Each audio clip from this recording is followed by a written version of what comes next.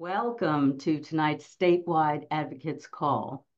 My name is Adrienne Kelly, and my partner Cheryl Carter and I are the co-executive directors of Democracy North Carolina. Cheryl, can you give the folks an emoji wave? Great. As we're waiting for folks to trickle in, please feel free to drop your name in the chat, your pronouns, what county you're joining us from, and what is something you're hoping to learn tonight. If you've been with us for a while, we would love to know something you're excited about as well. Let's see who's joining us. I see Carol and Linda. Thanks for being here. All right, Takesha's here from Onslow County and Jeff from Mecklenburg.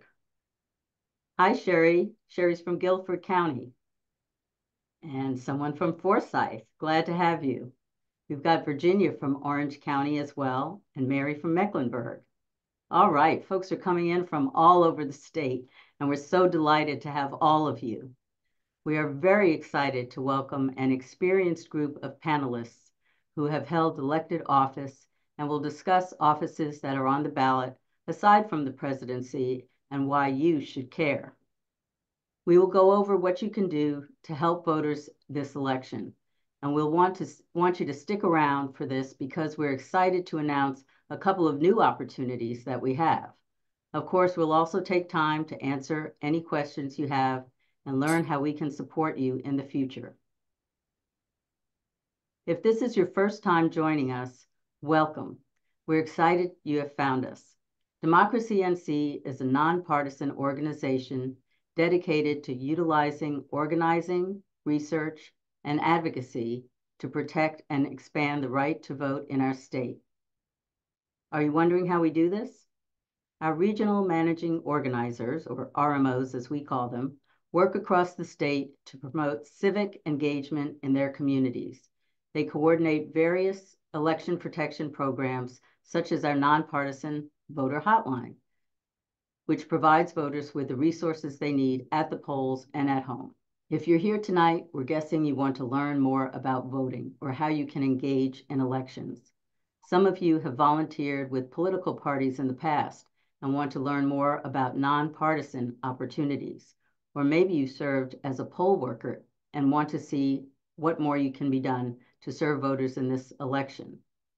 Regardless of your reason, you're in the right place.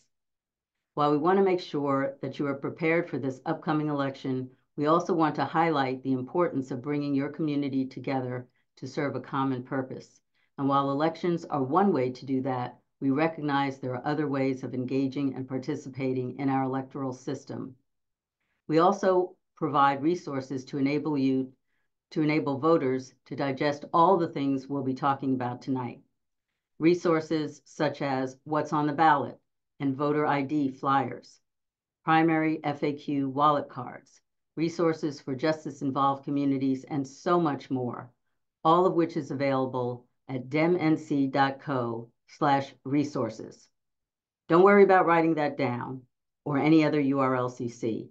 As part of signing on for this training, we'll email you all of the slides.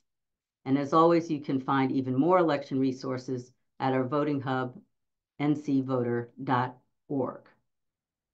The one thing we ask is that you don't keep this information to yourself. Whatever is your main takeaway, please share these resources with your local places of worship, community and neighborhood groups, and social networks.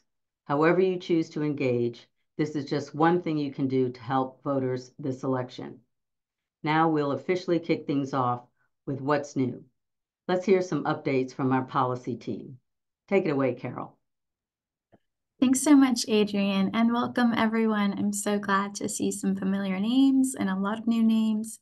Um, and we are going to get into what not only you should know ahead of the 2024 primary election, um, but as Adrienne mentioned, what we want you to remind your family, your friends, and other voters in this election.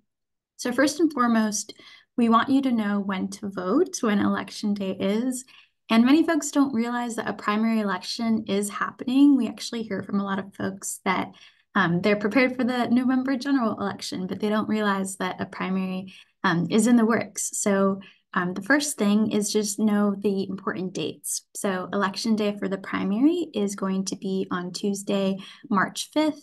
Um, we already have seen early voting starting, but that last day of early voting will be Saturday, March 2nd. Um, and there are also other important dates for voters that might experience issues at the polls and need to make a correction to their ballot. And so if they're looking to make those corrections, voters will have until Thursday, March 14th to return, um, depending on their circumstance. And while there have been many changes to election laws and administration through the passage last year of Senate Bill 747, we are only going to focus tonight on changes that are most likely to impact voters. And one of the biggest changes in the last year that you've maybe already heard of, either through the news or if you've already been with us through a regional coalition call, is the new photo ID requirement. Um, so you will need an acceptable photo ID to vote in this upcoming election. And there are several forms of photo IDs that are acceptable. And we do have some resources, specifically our voter photo ID resource that will provide you an overview of what those IDs are. Now, most voters we know have some form of an acceptable ID, such as a driver's license or passport. But if you or someone you know forgets their ID at the polling place, they do have options. And our voter hotline is also available to answer any questions or point you to the right resources. So, a few reminders about the photo ID law. Um, so, I touched on which IDs, but another common question we often get from folks is um, what student IDs are acceptable. So we have created a resource to help folks out that um, maybe you are a younger person on this call, or maybe you're trying to help register um, student voters on college campuses, or you have a son and daughter in school. And in those cases, we have a handy map that we have worked in partnership with the Southern Coalition for Social Justice, where you will get to see where the accepted student IDs are um, and we also know that this information is available on the State Board of Elections website, and we'll be dropping those links in the chat and sharing them with you later. Um, but that's just one resource we want to, to touch on. Another thing we want you to know about photo ID um, are those options, as I was mentioning earlier, if you're not able to, um, to bring your ID if you show up to the polling place and you're without it. So you always have the option of returning and going home and grabbing it if you know where it's at and you still have time to vote, um, which is what we highly recommend. But if you don't, you also have the option to vote via a provisional ballot, which is a ballot that you cast if um, there's a question about your eligibility requirements.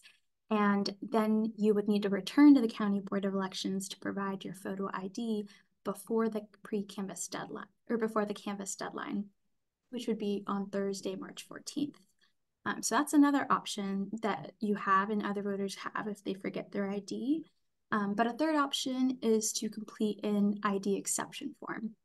So with an ID exception form, if you do not have um, a photo ID, and we, we saw in this last election that sometimes people lose their IDs, sometimes they're waiting for them in the mail, there's a lot of different circumstances. Um, there is an exception form if you have a reasonable impediment, and there are a lot of acceptable reasons for that, such as lack of transportation, um, disability or illness, um, maybe a work schedule didn't allow you to get that ID, that appointment with the DMV when you needed it. And so if you're if any have any of those situations, you can fill out a reasonable impediment form. There's also an other option on the form itself. So there is a place, as you'll see in this picture on the slide, for for voters to put any other options that don't fit in one of those categories. Um, but it is really important that if you're choosing this option, that you sign your name at the bottom because the form itself has to be completed correctly. Um, and that you are um, ensuring that if you provide your contact information to county boards, um, you're on the lookout in case there's there's any issues they need to alert you to. Um, and the county boards of elections must approve the form if they believe the statement to be true, and they can only reject it with a unanimous vote. And if the form is rejected, the voter must be notified and given the opportunity to be heard prior to the county canvass. Um, and the last reminder we want to give you around photo ID is that um, another option is to get a free voter ID from your county boards of elections.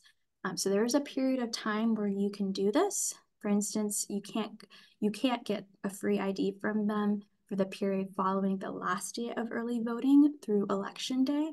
Um, but any other time you're set to go even after election day to get that free ID and, and use that as an alternative option. And they're good to go for about 10 years. Um, you don't need any special documents. You do need to provide, if you're already a registered voter, your name, your date of birth, and the last four digits, um, or the last four digits of your social security number. So that's our updates on photo ID, just reminders for folks, especially if um, you're helping other people out there and they might ask you those questions. And I will turn it over to Keith to talk about voting by mail. All right. Thank you, Carol. Uh, for this, we'll go through some reminders and then some updates. Uh, just one week left uh, for submitting an absentee ballot request form. The deadline for that is uh, next Tuesday, February 27th at 5 p.m. And then the deadline for submitting a voted absentee ballot in person is at 7.30 p.m. on election day, so Tuesday, March 5th. Uh, important thing to note here, if you plan on handing in your absentee ballot on election day, you want to take it to your county board of elections office. Make sure that you tell other people to do that too. If they wait until the last day, take it to the county board of elections office. And then lastly, when voting by mail, voters must include a photocopy of an acceptable ID inside the photo ID envelope. That comes with the ballot or complete the ID exception form.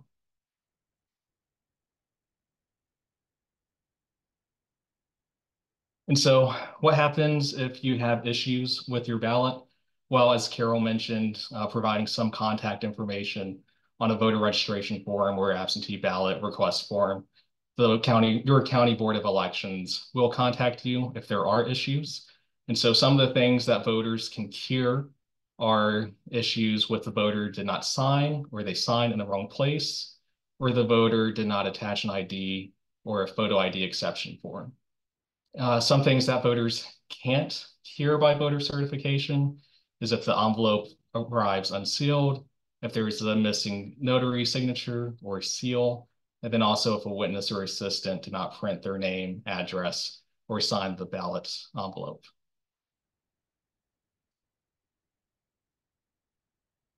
And then lastly, for my part, I just want to let you all know about the signature verification pilot program.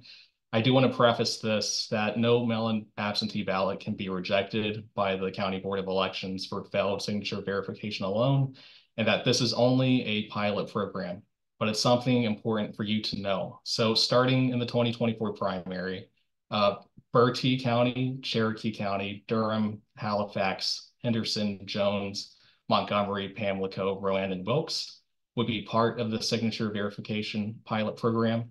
If you know people in those counties, definitely let us know. I do want to try to get people out to attend those county board of elections meetings.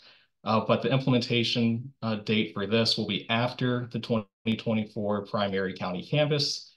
And then in May, the North Carolina State Board of Elections will be responsible for submitting an, an evaluation or report of the uh, verification pilot program to the General Assembly. And I'll toss it over to you, JP, for more updates.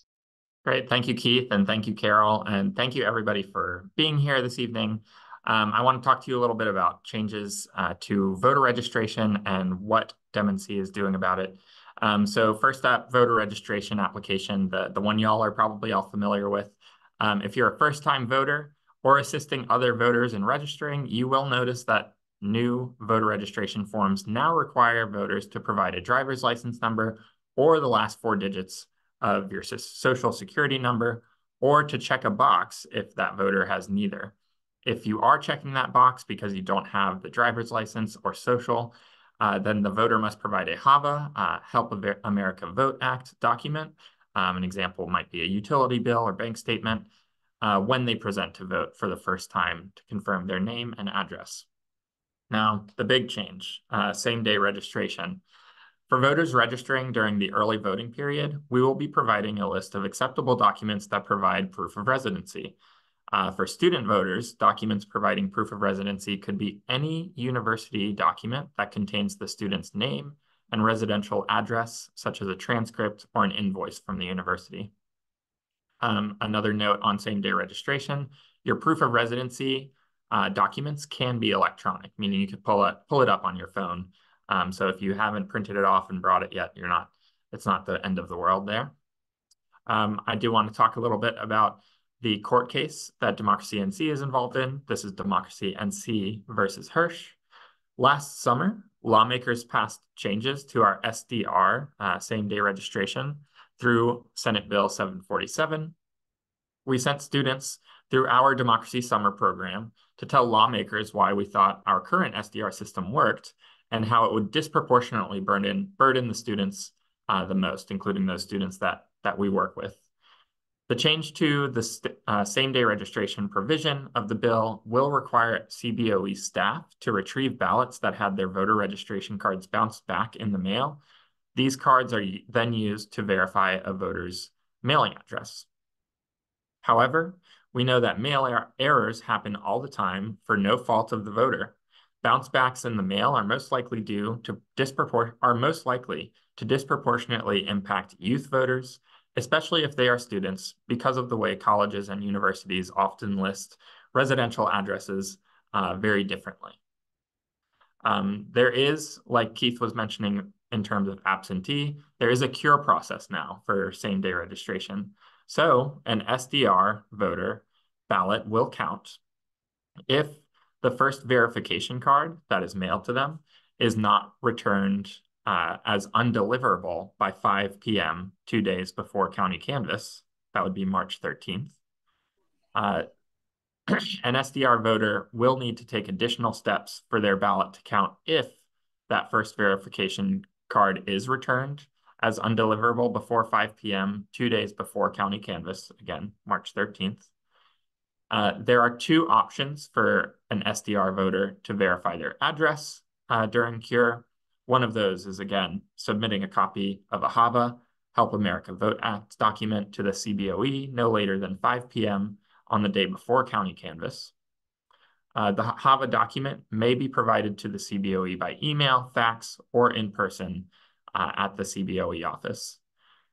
Alternatively, that voter may attend the CBOE's Canvass meeting to verify their address in person if they cannot provide a HAVA document by the day before county canvass.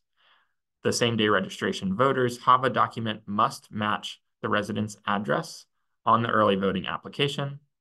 In other words, the registration form for the voter's ballot and registration to be approved. Now, as we said, these are just a few of the highlights that may impact you or a voter you know.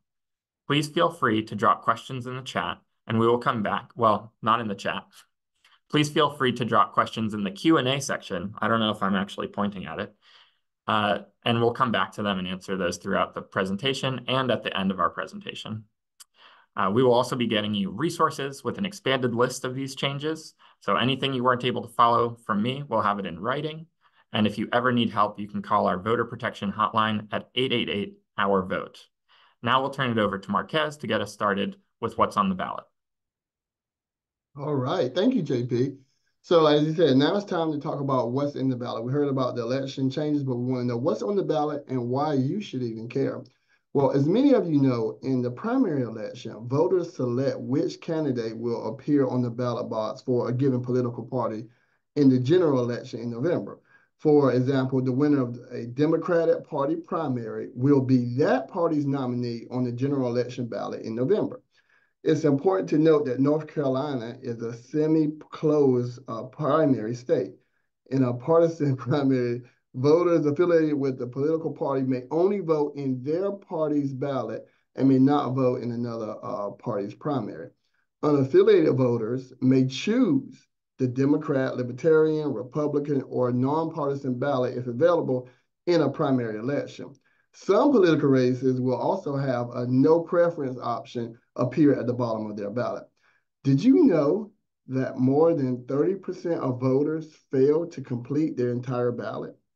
In a new Meredith poll conducted in February of this year, 69% of North Carolinians surveyed said that there was a serious threat to our democracy.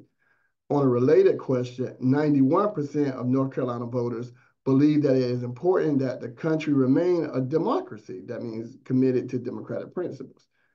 Through these results, we see that there is a strong desire from voters like you to protect democracy.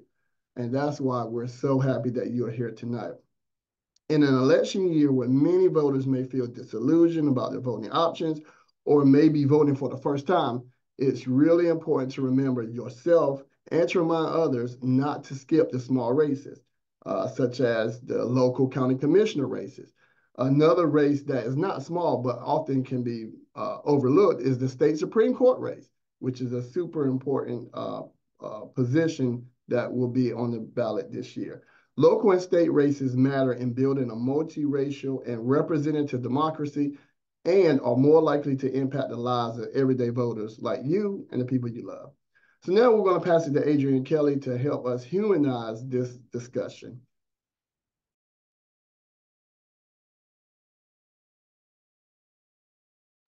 Adrienne, I think you might be on mute. Thank you, Carol. Thanks, Marquez. Uh, thanks to Keith, JP, Carol for all that. That was a lot of information. And what we want to do now is to get some perspective from folks who have held various statewide and local positions. With us tonight, we have Judge Carolyn Thompson.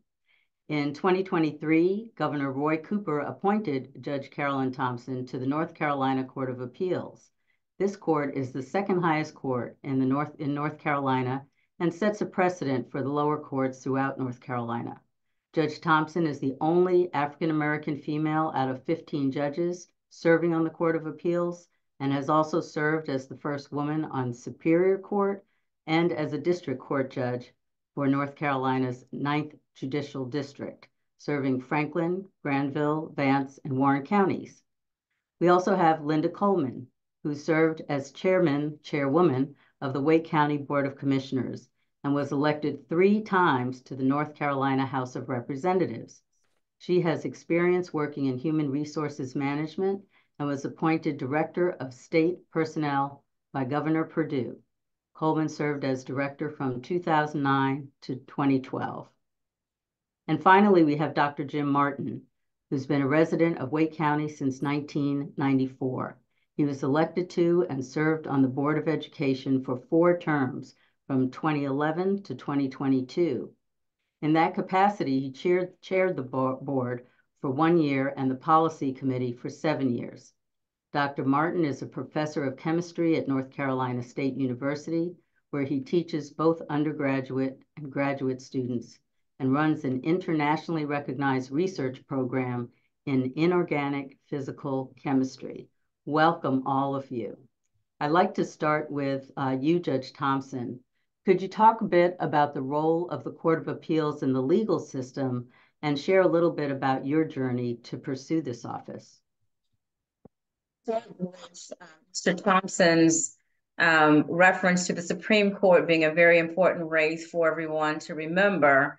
But therein lies where I'm going with my presentation is that the Court of Appeals is also very important because it is um, the second highest appellate court that we have in the state.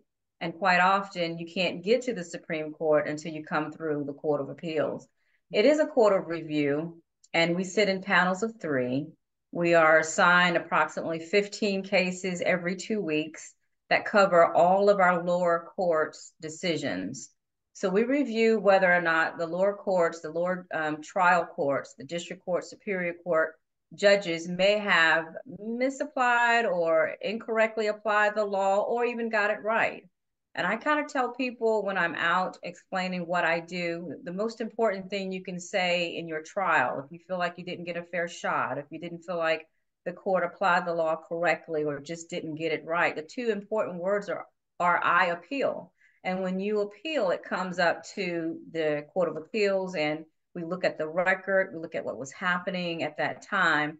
And I think the advantage that I have in this position is that I've only that I have also appeared in front of the trial courts. I've sat on the trial court benches, so I know what's going on in the courtroom.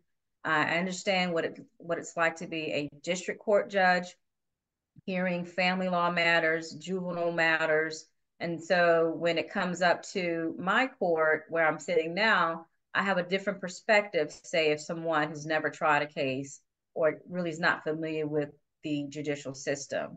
I think it's very important for people to understand the uh, experience level when you're at this level of court making decisions that impact the entire state. So I was just looking at my um, stacks today or my books behind my uh, desk in my chambers and things that I have already authored. I've already authored 23 opinions and I've only been on the, um, this seat since September when the governor appointed me. And it impacts the entire state. So I, I'm thankful for the opportunity to serve in this capacity. That's fantastic. You clearly have a lot of experience and have gone up the ranks in the, the judicial area. What do you think, what qualities should voters look for in candidates for judicial races? I, again, I think it's about the experience. You can't come into this level deciding um, whether people keep their children, if their rights have been terminated through the Department of Social Services Court. I'm being a former DSS attorney and also having presided over DSS cases for over 10 years. You can't make those kind of serious decisions coming in cold or having to have that learning curve under your belt. Um, the other thing is um, you should look at the record. Look at what the candidate has done in the judicial arena as well as the legal arena. Um, nccourts.org you can look at the opinions that I've written and all the other judges on the Supreme Court as well as the Court of Appeals. They're mm-hmm. right there. All you have to do is type in the judge's last name if they appear on your ballot to see exactly what they've done in the past. And we want to remind folks to go to ncvoter.org so they can pull their specific ballot. And that way you can see which district court judges and other judges are you're able to vote for. Let's turn to Ms. Coleman. You've been both a county commissioner and a state representative. Can you talk a little bit about the difference in each position's level of decision making and uh, especially around our tax dollars? Yes, uh, thank you so much. Uh, the county commission, of course, is a local government position. And this is really where the rubber meets the road because the decisions that county commissioners make uh, you can see the impact on your daily life. Uh, you can't always see that in federal government or state government. Mm-hmm. And as far as the tax dollars, very important because county services fund are funded through your property taxes. One of the most important things that county government funds through your property taxes, of course, and Dr. Uh, Martin will agree with me, is school construction. Mm-hmm. School construction is very important simply because of uh, the growth in, in Wake County. Uh, I am uh, I was county commissioner here in Wake County, so that is where my experience is with county government. But I will tell you that the um, the kinds of services that are funded by county government, we fund the sheriff's office, the uh, county board of elections, the register of deeds, human services, which includes um, social services, public health, mental health, developmental disabilities, uh, parks and recreation, solid waste, mm-hmm. libraries, uh, open space, um, just so many services that impact your daily lives. And that's why it's so important that you really know exactly what's happening uh, in local government because it does impact you directly. And the on the statewide level, uh, as a state representative, those funds come primarily from the um, income taxes that you pay. Uh, the, the Department of Revenue collects revenue or your state income taxes annually. Uh, they do get some funds. Um, the uh, General Assembly does get some funds from the federal government, but primarily uh, the funds will come from state in income taxes. And I can tell you that this past year, the North Carolina Department of Revenue collected over 42 billion, billion with a B, dollars from state income taxes. And these taxes fund uh, services that the state provides. They also fund education. Uh, but I will tell you, while the um, school construction is um, funded from um, from county dollars, it can never fill the gap that the General Assembly needs to fill through their appropriations of um, of, of dollars for education. Mm-hmm. Uh, but they fund education as well, the state uh, state house, and uh, with education. They fund both the private and the public institutions in North Carolina. Uh, they also fund the salaries for community college employees, uh, teacher salaries, uh, state employee salaries. Uh, there's a housing trust fund, which um, goes for uh, affordable housing. Uh, there's um, um, the all of the state agencies receive an appropriations. And you saw those state agencies that you will be voting on in the upcoming um, election which included offices like your uh, governor's office your lieutenant governors your state auditor agriculture environment uh, health and human services uh, corrections for the prisons uh, law enforcement. Uh, all of those funds are appropriated from the uh, General Assembly to fund the services uh, that the state provides to the citizens of North Carolina. That's great. That's great. Let's bring Dr. Martin in. Uh, uh, Ms. Coleman mentioned the school board and the appropriations from the county commission for the school board. I'm interested in both what um, education policies the, the school board puts together, as well as how you work with the county commissioners. Thank you, and it's a, very it's a pleasure to be here. Um, you know how you put together policy and what policies you put together is in part responsive to whatever's going on in your local district. Um, you know, I, I think one of the one of the things that that is really important to think about with respect to policy is um, you need to be persistent. You need to work with staff. Oftentimes, people will come in with an idea that I want this or that policy to change. Um, and when it's a policy we want changed, we want to be able to change it quite easily. But if it's a policy we're not sure it should be changed, we don't want it to change so easily. And so, this is uh, something that I think we, you know we may talk about a little bit more later. But one of the important things to understand about governance is you want democracy to be a little bit stubborn and cumbersome so that you don't just get things flipping back and forth. This was a real problem we had in Wake County back before I got on the board. In fact, it was one of the reasons I got on the Board of Education. Is a group of people came in and they tried to just change policy overnight based on their political agenda. They didn't work with the community. They didn't work with staff. And so we ended up getting a lot of chaos. The flip side, uh, you know, I, I would share work that I did, particularly on our discipline policies here in Wake County. It took more than five years to get some just basic changes to that policy.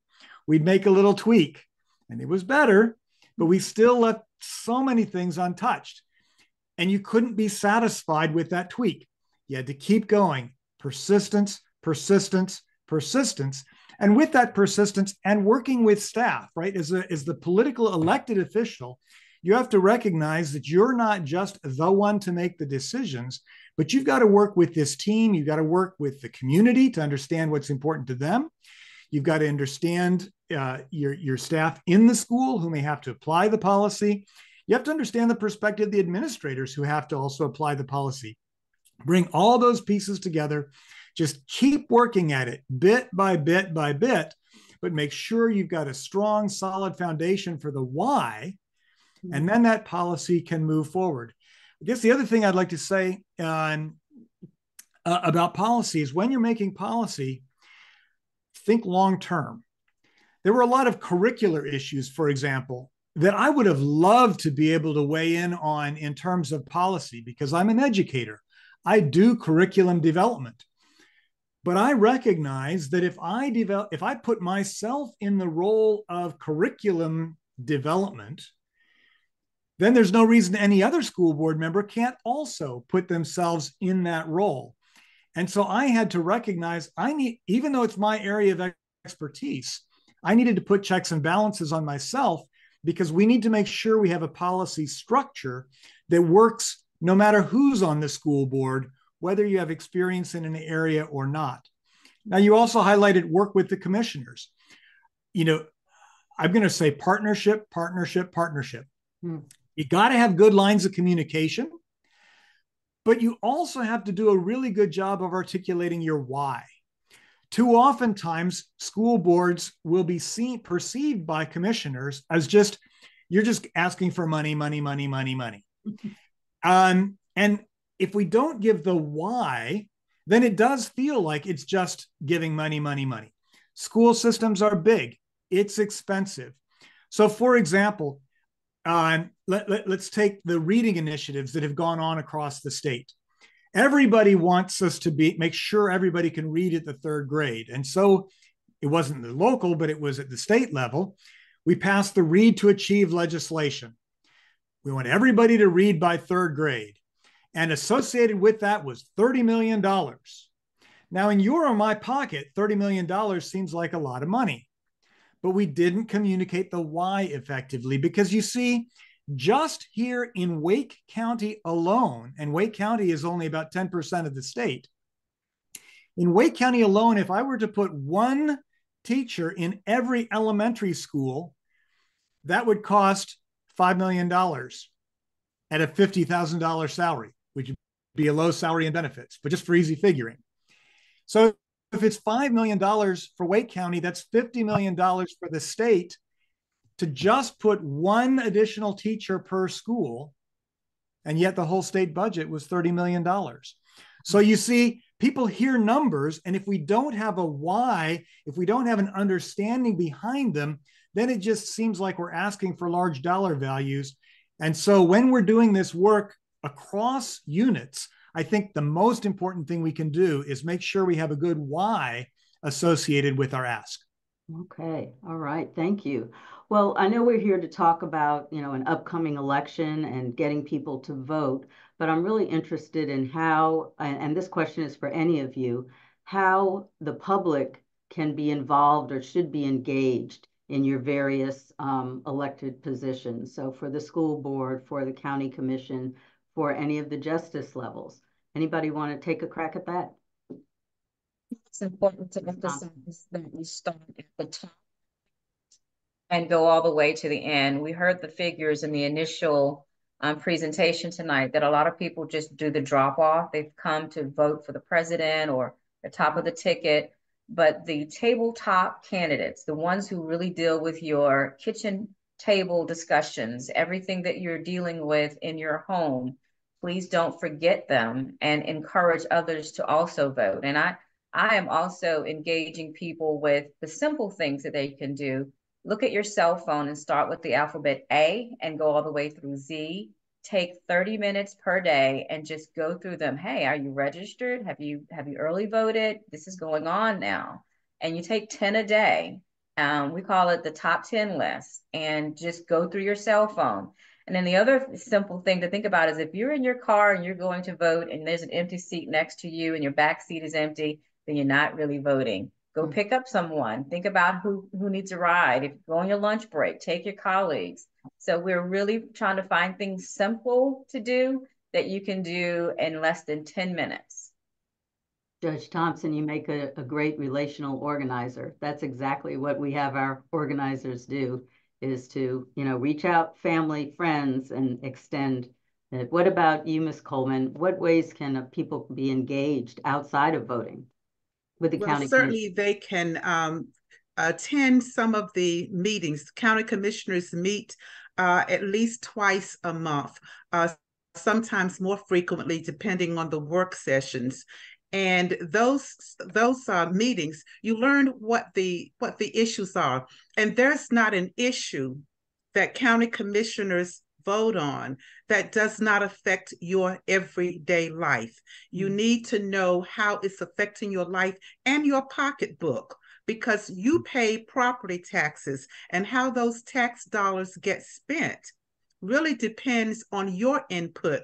They have public comment sections um, each time they meet, and people come and voice their concerns. And their minds do get changed sometimes based on the input from citizens. But if citizens don't participate, if the elected officials, county commissioners, judges, whomever, school board members, if they don't hear from you, then whatever they do, you're just going to have to sit back and and take it because you have not had your voice heard and you have your voice heard through your vote you that's why you need to know who you're voting for so that you make sure that who represents you represents your interest as well.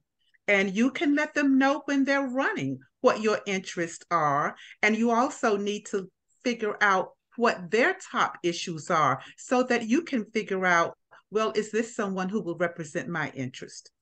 Excellent.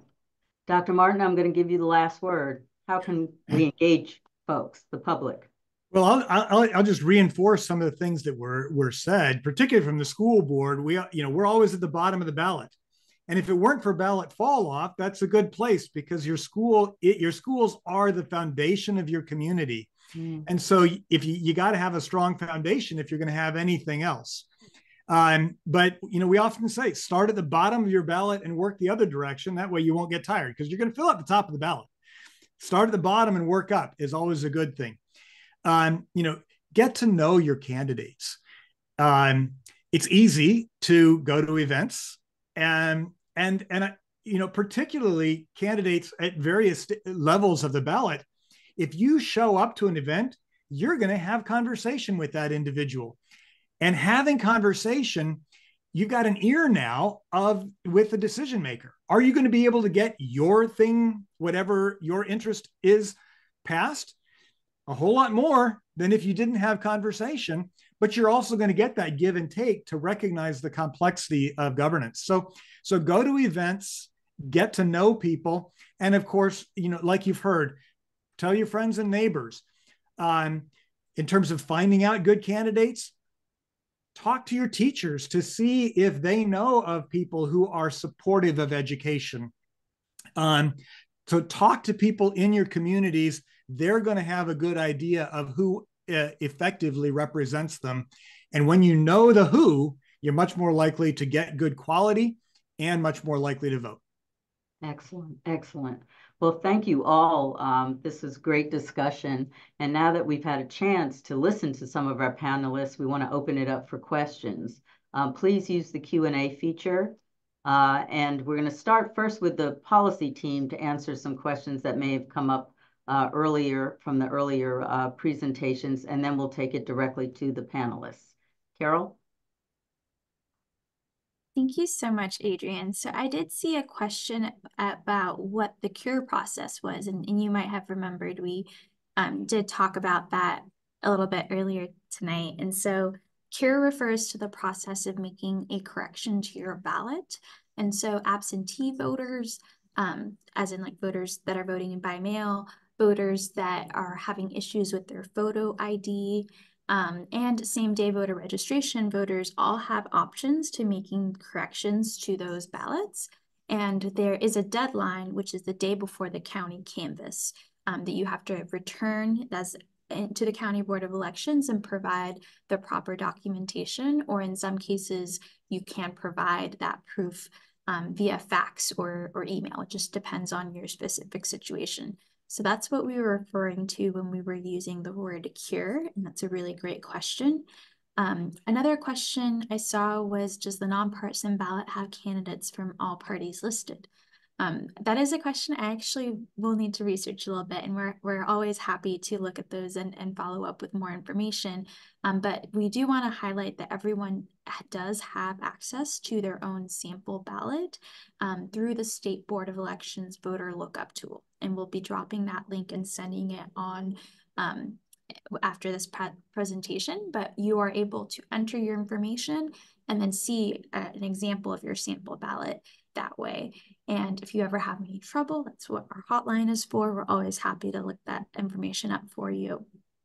And then we had a question, which is actually maybe more for organizing and because um, I might actually hold off on answering this directly, but um, it was a great question around um, what are some ways to really mobilize underrepresented voters, um, postcard writing or or using other other tools for that.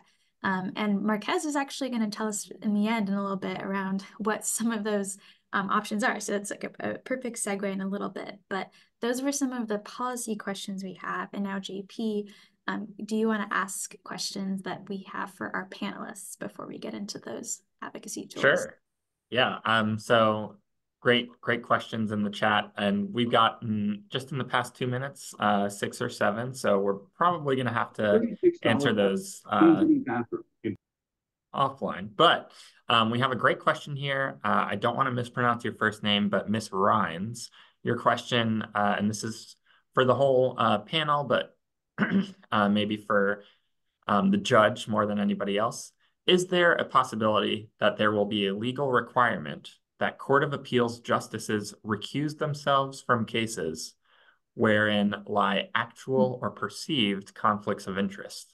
Sounds like something that was in the news recently. There, it doesn't just apply to the justices or the um, judges on the Court of Appeals. It could it could be your local judges as well. It's giving the appearance of having made a decision in advance of or a bias that someone may say you, you may have. Um, I can tell you that um, since I've taken the bench, if I have any any inkling of a not of knowledge about a particular case, and most recently involving my county, um, I simply just stepped aside and recused in advance of it being assigned to me as an appellate judge because that particular case happened in my community, and I didn't want to give any um, sense that I may have already come in with perceptions of what how the case um, come out. So it can happen on any judicial level, not just justices. But when judges are sitting in that in that role, we are to come in with a clean slate uh, of the facts and um, the particular issue at hand, so that you can always count on a transparent ruling based upon the law and the Constitution as it applies to the facts. I'd like to weigh in on that as well. That not only uh, refers to the judicial system, but it is also with um, administrative um, positions as well. For instance, I serve on the uh, community college board, and at every meeting, uh, one of the first things that uh, happens is uh, we read the conflict of interest statement, and uh, that's one of the reasons we see re- we receive the board material uh, before the meeting because if we have a conflict of interest, then we have to so state that uh, before the meeting begins and state what that conflict is, and you are recused. You you do recuse yourself uh, from voting on that matter. Excellent responses. Thank you all. Um, the next question might be a little less straightforward, but I want to ask the, the panel to get your thoughts here. Um, so we do have a lot of questions that uh, relate to the policy content and ways to get involved, which we will be going over at the end of the call. We'll be answering those in uh, the Q&A section of the, the Zoom, but I want to ask the panelists, which positions can most effectively change the gerrymandering in North Carolina? Or maybe generally? North Carolina General Assembly, the North Carolina General Assembly, and uh, that's why uh, that's why participating in the census is so important. Uh, that determines so many things. It determines the resources that that uh, you get in your community, but it also determines which party is in control uh, every ten years. Uh, and so the party that's in control in the General Assembly is the party who uh, who gets to draw the lines. And gerrymandering has been going on for decades. Uh, it's not something that just started, but it is uh, it has gotten to the point now where it has created such a partisan divide that it makes government almost non-functional. Uh, but that is uh, the, the party and the General Assembly gets to decide that. Not the uh, the only way it is overturned is it goes to the state Supreme Court and it moves on up to the U.S. Supreme Court. Uh, it, the state Supreme Court can overturn it, but then uh, it can also go up to the to the U.S. Supreme Court. Let me add that I mean people often don't think about it because we think about the the gerrymandering of our state legislative districts and our federal uh, districts, but the county commissioners draw their districts. The school boards generally draw their districts. Every once in a while, the General Assembly will step in and think they know best. Uh, but but the the local bodies do uh, draw their districts as well. It's supposed to be every ten years, um, and there is plenty of gerrymandering that happens there as well. So again, um, you know, I'm I will advocate as as hard as I can that we really need independent uh, district drawing commissions, because even down at the school board member uh, when I ran the very first year, I was gerrymandered out of one district into another district.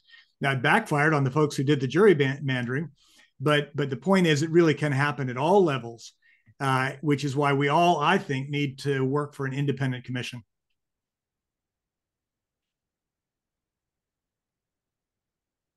Well, I agree with that. And uh, maybe we can share some information about our Fight for Fair Maps, uh, Democracy North Carolina, along with a lot of other groups across the state are advocating for exactly what you laid out, Jim, an independent redistricting commission. So um, y'all stay tuned for that and stay engaged because I feel like that's an issue with gerrymandering. We kind of forget about it every 10 years, right? Um, Jim, I want to ask another question to you.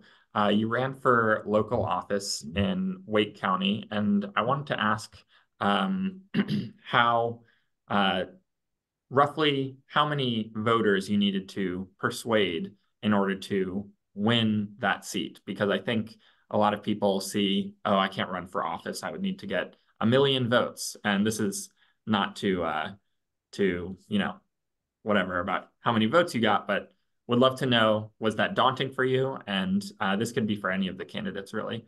Um, and were you surprised at how much it took or how much it didn't take to to win that seat? Yeah, uh, very good question. Um, and and it, it it is right, Wake, Wake County is different than the school board races across the state, but then again, not unlike some of the legislative races across the state. My school board district was as large as, uh, in fact, larger than some of the North Carolina General Assembly districts. Uh, yeah, I had, uh, boy, I haven't looked at the numbers right uh, recently, but uh, 150 to 180,000 uh, voters or something like that in the district right? So so you, not everybody's going to vote, but I needed between uh, 45 50,000 uh, to win. Uh, so you've got to make a, a, lot of contacts. There's a lot of people that don't like the money that gets involved in a political campaign. I being one of them. I don't like the money that gets involved. But if you're going to touch voters, it costs money, right? Till you send a postcard, till you print it and send it, you're talking 50, 60 cents a card. Multiply that by a thousand households, and you're talking some real dollars. So uh, it is daunting uh, at all levels, even at the local level.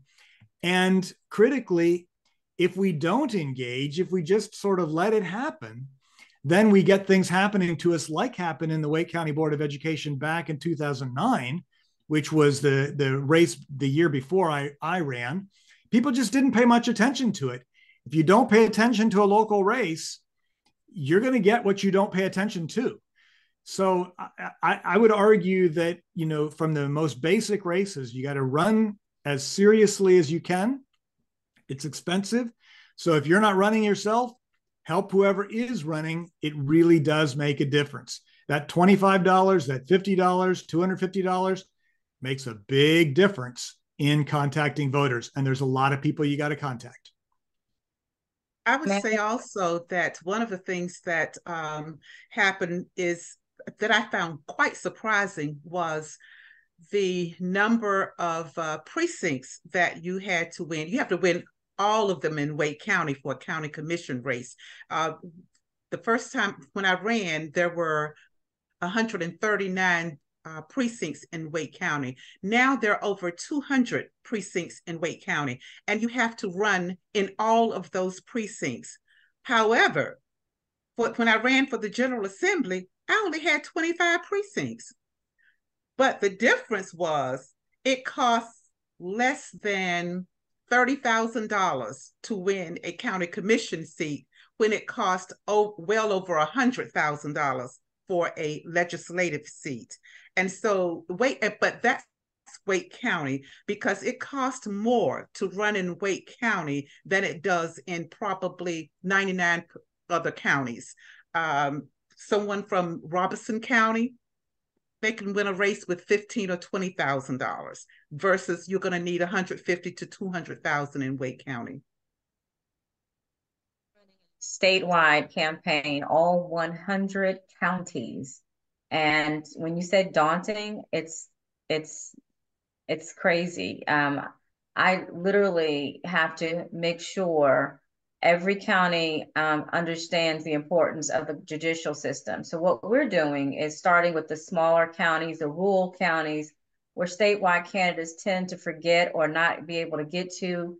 Statewide candidates want to go to the big Mecks, Mecks and the Wakes and the Durham counties, but we're focusing on the rural community. And I can tell you, we've heard several times, thank you for coming by to check on us because no one really comes out to see about us and our vote. Like, you know, the small counties like um, Lee County, Duplin, Martin, um, when we hit the ground and canvas, they are so grateful that a statewide candidate took the time to come by and introduce themselves or, or find out what the issues are on their level because again most of the money goes to the larger counties such as wake and meck and durham and those voters are just as important if not more because they can actually help a candidate on a statewide level pass the word in their community to stack the numbers in favor of the statewide candidate.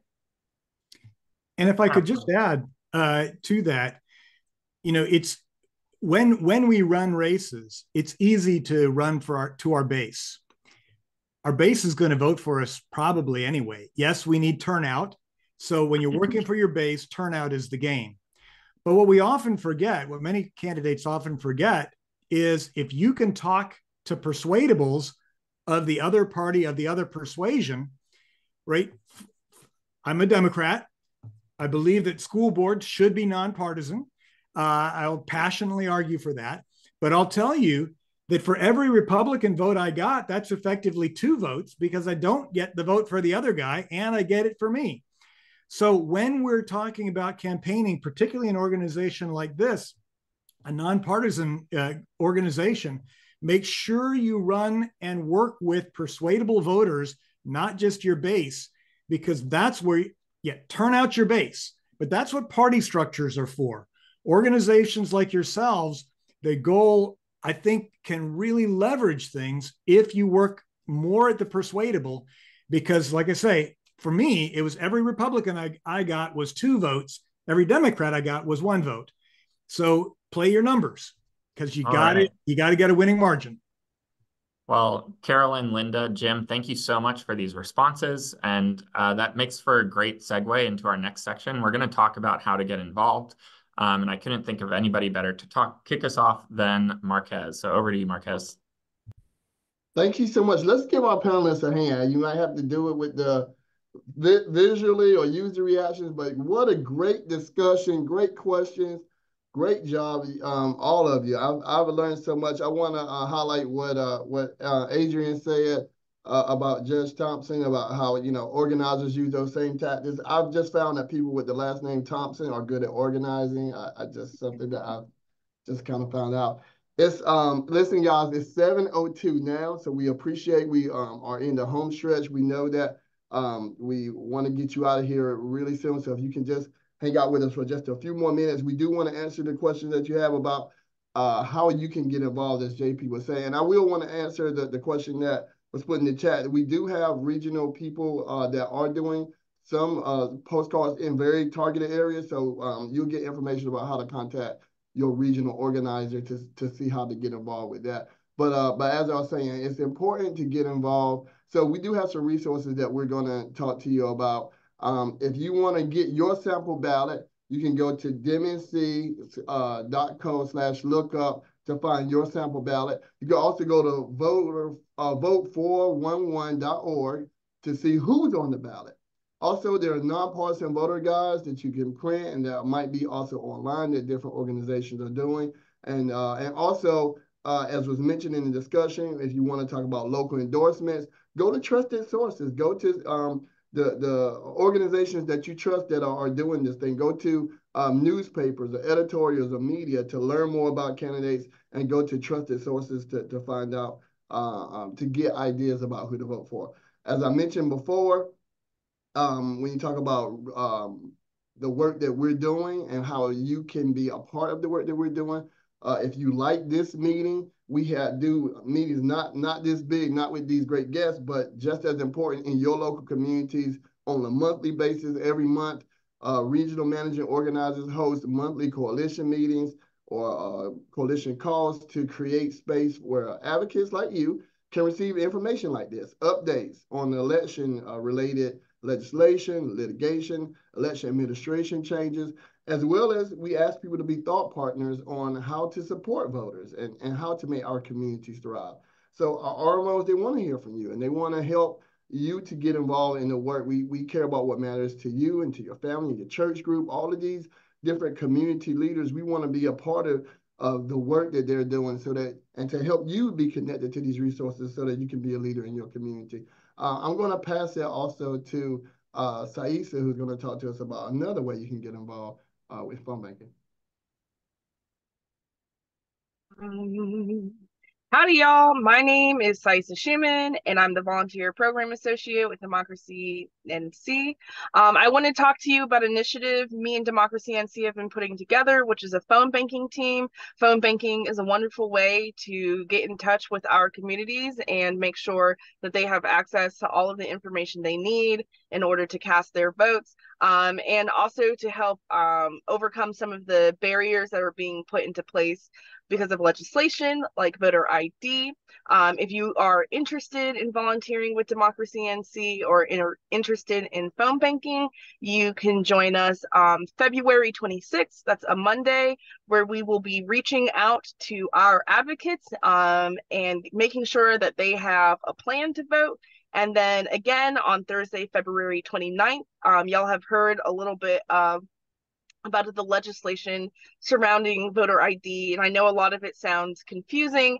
Um, and that means that folks who go to the polls might be confused as well. So that phone banking on Thursday, February 29th is to contact anyone who has put in their provisional ballot and might need to do extra steps to make sure their vote is casted. Um, volunteers who engage with Democracy NC in these ways are making sure that even when these barriers and these boundaries are put up, we are directly communicating with folks and making sure that no matter what is happening, they have equitable access to ballots, to their um, voting locations and everything that they need.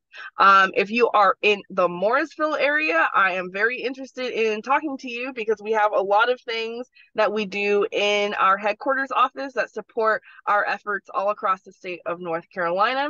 Um, but whether you're interested in phone banking or getting involved in any other way, or if you just like want action alerts about what's happening in the state around you, I recommend that you vote. Um, you visit our Mobilize page that's mobilize.us slash democracy NC. That's one of those links you don't have to memorize. We'll let you know about it. Um, and that will be our hub for ways to get involved, not only with Democracy NC, but with your community. And I'm going to pass it off to whoever is next. I, I don't, I, I'm not quite sure. Uh, that would be me. Thank you, Saisa. Um, and yeah, many of you are probably familiar with our poll monitoring program uh, called the Vote Protector Program. It might be the first way you got involved with them. MNC. Uh, we are doing a poll monitor program for the primary. It is already underway. We have completed our first round of trainings. If you've missed uh, the trainings that we had two weeks ago, that's okay. We're going to put an interest form in the chat for a last minute training that I'm going to try to do um, next week. Uh, that would be open only to returning vote protectors because we have to get you materials, these beautiful yellow shirts that you see our models wearing here. Um, but there is still so much to do for this election after election day, uh, particularly around um, elections advocacy, uh, the phone banking that Saisa was talking about. And so to hear more about what we should be doing after election day, um, I'm going to pass it over to Keith. And in the meantime, we'll put in the chat here ways you can still get involved with our poll monitoring program. Thank you. All right, thank you, JP. So one of the things I would love for all of you to do is to become an elections advocate. So elections advocates build relationships with County Board of Elections and advocate for things like uh, early voting access and better funding towards elections. So in the 2023 municipal elections, uh, we had elections advocates monitor the canvas or the process uh, to count votes. And so those canvas monitors or elections advocates helped us collect information of how the review process of ID exception forms was being conducted and how it was being conducted differently across the state. So not only were legal canvas monitors able to make corrections to the process in real time, but in partnership with elections advocates across several organizations, we were able to collect enough reports to support recommendations for improvement to the North Carolina State Board of Elections. And if you're interested in uh, becoming an elections advocate and engaging in our Canvas mining program, there will be a live Canvas training uh, next Wednesday on February 28th from 6 p.m. to 7 p.m. And if you can't make that, we also have an on-demand option, which you can do um, on your own time. And I'll also be in contact with those of you who do it that way, just to make sure everything is going smoothly. Uh, the last thing that I'll say uh, with the elections advocates, we do have a monthly meeting, um, trying to make it a little bit more consistent, but we do have a monthly meeting where you can hang out with me and one of our monitors, John, who's on the call too, uh, to talk about elections advocacy and what to keep an eye out for in future County Board of Elections meetings. And I'll pass it over uh, to you, Rev. Steph, from one Dem Summer to another Dem Summer alum to another Dem Summer alum for your part. Exactly. Thank you. Thank you, Keith. Uh, as you said, my name is Reverend Stefan Weathers Sr. I'm the program manager uh, for young adult engagement uh, and that's what I'm here to talk about. Listen, this is one way that you can be involved is be a bridge uh, between young people being involved, especially college students. Um, and so the Democracy Summer Internship Program, uh, we will be in its 25th year uh, this summer. Uh, if you've been doing something for 25 years, well, uh, then you know that's something to you know that's nothing to sneeze about. That's something we should applaud. And so, anyway, democracy summer. And if you are a young person on the call right now, a college student on the call, uh, this may be an opportunity for you. This is an opportunity to uh, train up the next generation of democracy advocates in the state of North Carolina. Uh, the application period is already open right now, um, and it ends March 15th. So if you know a young person, a uh, college student, if you know if you if you are a college student on this call currently, March 15th is the deadline to participate or to get your application in to participate in Democracy Summer. Now, there are a couple of things that I do have to note. So, two major requirements is that you must be enrolled um, in a North Carolina community college or four year institution. Uh, it must be a rising sophomore, junior, or senior. So, you know, if you're a grad student, uh, you know, sorry, um, but you know, it's it's for those who are in undergraduate um, and again in our North Carolina uh, community colleges and four-year um, institutions. Also, students cannot participate if they're going to be enrolled in summer classes um, or if they have some type of other work and part-time job. Um, that's just because this this work is, will uh, will be uh, will take the energy and will take the effort uh, uh, to truly be successful in. And so again, our departments are organizing, policy, communications, development, and operations uh, and so our students can become interns in any of those departments. Um, and so, yeah, I would drop the, if somebody hasn't already done it, I would drop the link in the chat uh, that gives you the full breakdown of the program, but also provides you with the actual uh, link to for, uh, for a college student to apply. And with that being said, I'll kick it off to, I'm not sure, is Caleb on the call or I'll pass it off to whoever uh, will be speaking instead.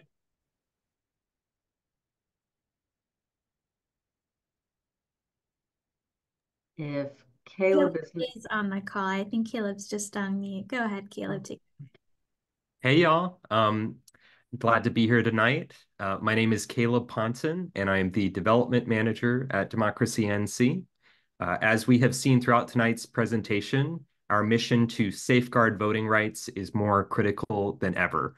From volunteering to phone bank and distribute yard signs to sharing election resources and attending County Board of Elections meetings, there are so many opportunities to get involved during this year's election. And there are three easy ways to support our work with a charitable donation. First, uh, please consider becoming a monthly sustainer.